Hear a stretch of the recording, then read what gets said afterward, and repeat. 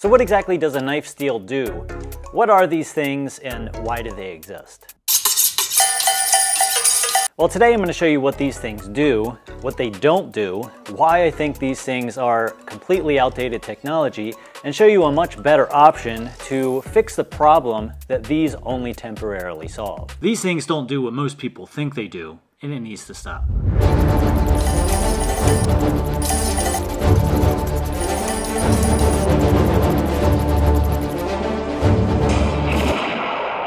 Now the thing I'm referring to here is something called a knife steel or a non-abrasive honing rod. These things are not knife sharpeners. Sharpen it before and every time you use it. They contain no abrasive qualities whatsoever. They're actually made from steel and designed to do one thing, which is to straighten rolled edges. We see, this isn't entirely true. Now what is a rolled edge, you may ask? Well, let me show you.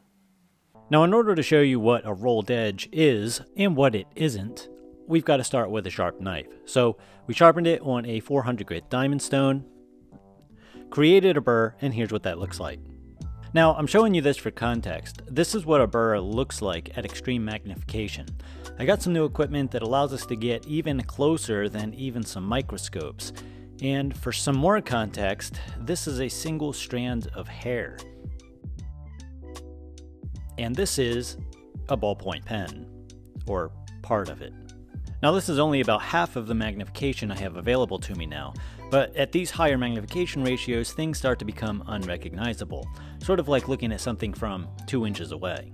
I have absolutely no idea what this is. So now we're just going to minimize the burr by doing some alternating light passes on the stone. And then to fully refine our 400 grit edge, we went on to a fresh 3 micron diamond strop. And here's the edge after the burr has been removed and the hair for reference. Notice the reflection of the hair on the blade.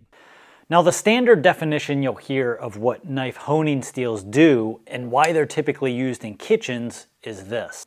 Kitchen knives are more prone to edge rolling since they're typically ground very thin, and a thin apex is more prone to rolling over when coming into contact with things like a cutting board, bone, other kitchen utensils, a stainless steel cooktop, etc. Hence the need for a honing rod in order to quickly straighten that rolled edge back out. Now this sounds good on the surface, but the problem is, is that it's not actually what's happening. Let's take a look, do some experiments, and see what's going on. So to get started, let's create a true rolled edge. Now I'm artificially rolling the edge here on a piece of copper pipe. This is perfect for rolling the edge without creating damage to the apex. And even though this is a $1 knife from the dollar store and ground very thin, it does take quite a bit of pressure to roll over this edge. Indeed, someone would have to work very hard to roll this $1 knife edge. More on this in a minute. Here's what that rolled edge looks like up close. On the surface, it sort of looks like a burr, and I think that this is where the confusion comes in. You'll often hear people talk about straightening the burr on the edge of the knife using a knife steel or honing rod. This is not a burr. This is actually the apex bent over.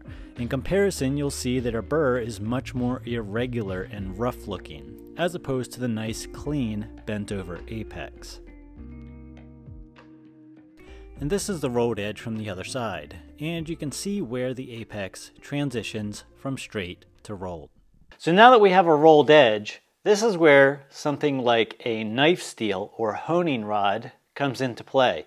Because ideally, if we could re-straighten that bent over apex, our knife will be sharp again without going through the entire sharpening process. Now the correct way to use this is to use edge trailing strokes on the honing rod. So what I'm going to do is I'm going to do edge trailing strokes and we're going to see if we can re-straighten the roll.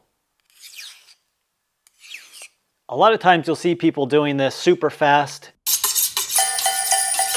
and that does nothing. I'll show you this in a minute. So after a handful of passes on the honing rod, and without even going to our extreme magnification, we still have quite the edge roll on the apex of this knife. So as you can see from our first attempt at using the honing rod knife steel, uh, we didn't actually do anything. So this is after a handful of light passes, just like you see everybody doing on TV. And it looks like it completely destroyed the apex.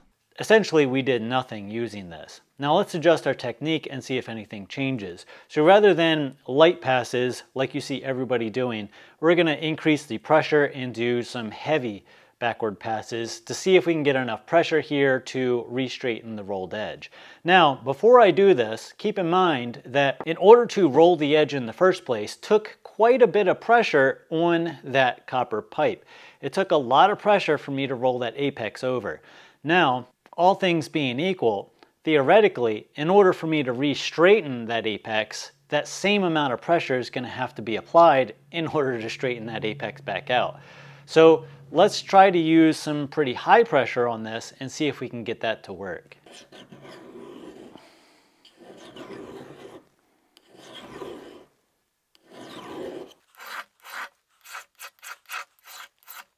So after a little bit more uh, aggressive passes, you can see our apex is starting to look a little bit odd.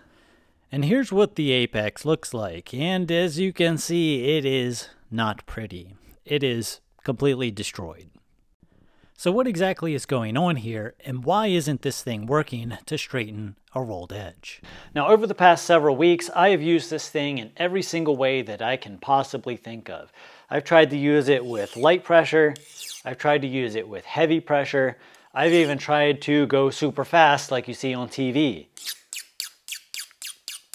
A non-abrasive honing rod will not straighten a true rolled edge. In fact, it actually damages a true rolled edge even worse than it already is. So that is sort of what your rolled edge looks like.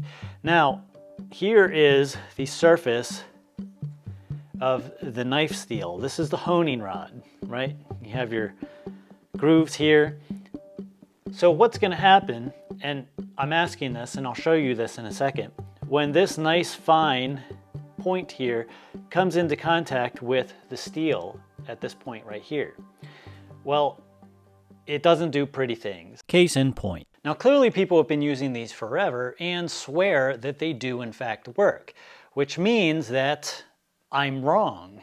No, it just means that there is a lack of understanding on what these actually do and the terminology. Now, as I explained earlier in this video, there is a difference between a burr and a true rolled edge. A non-abrasive honing rod or honing steel like this one will not straighten a true rolled edge. At least not without other bad things happening like completely destroying the apex in the first place. What these will do is straighten a burr, and that is where the problem with these arise. Sharpen it. You keep using the word.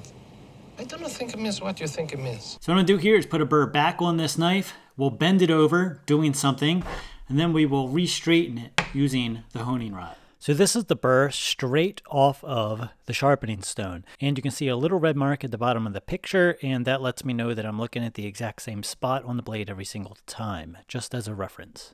So we've put our burr back on the knife and I have a piece of hardwood here. This is actually hickory. A lot of cutting boards are made out of hardwood. And what we're gonna do to sort of mess up this burr is we're just gonna let it come in contact with some hardwood.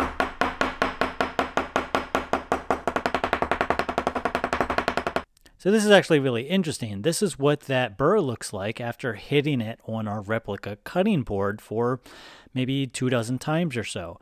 It literally looks like it's rolled over on itself. So now what we're going to do, now that we have our burr somewhat folded over, is we're simply going to do a couple of light alternating passes to straighten that burr back out.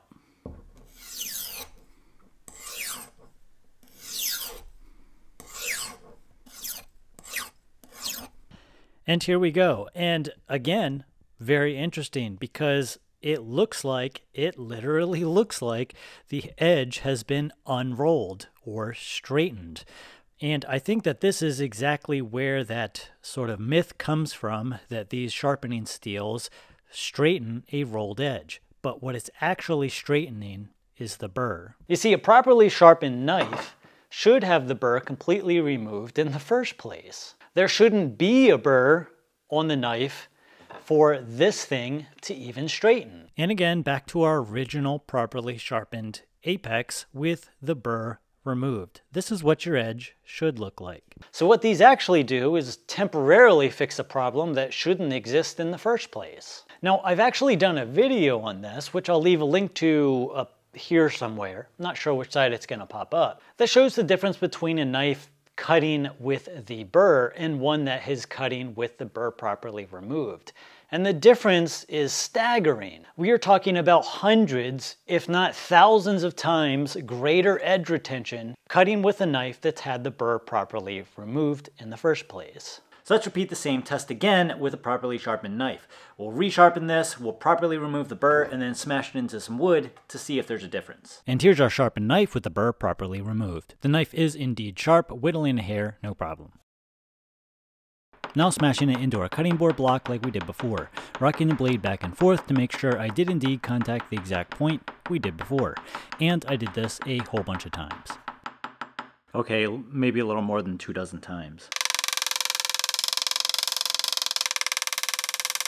And boom, here it is after. It basically looks like nothing happened to it.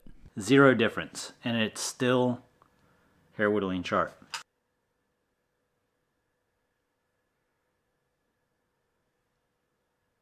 What's happened here is that these were invented before we really had an understanding of what was truly going on at the knife apex. And people didn't have the technology available to them, or maybe the experience, to know how to properly remove a burr, or that there was even such a thing as a burr in the first place. So what's a good alternative to the honing steel? I'd recommend either a cheap $20 diamond stone like this one, or if you want to stick with the same theme, you can get an abrasive honing rod. An abrasive honing rod works in exactly the same way, only it contains an abrasive, either a diamond or ceramic. Or if you want to stick with the tried and true diamond stone, these can be used in exactly the same way that you use a knife steel. It's literally the exact same motion.